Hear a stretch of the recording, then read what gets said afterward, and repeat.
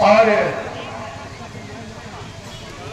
ये पूरा परेड की देख रेख इसके आयोजन में जिनका हमें सहयोग मिला, श्री इंद्रजीत मुंडा, उत्कृष्ट सेवा के लिए आप यहाँ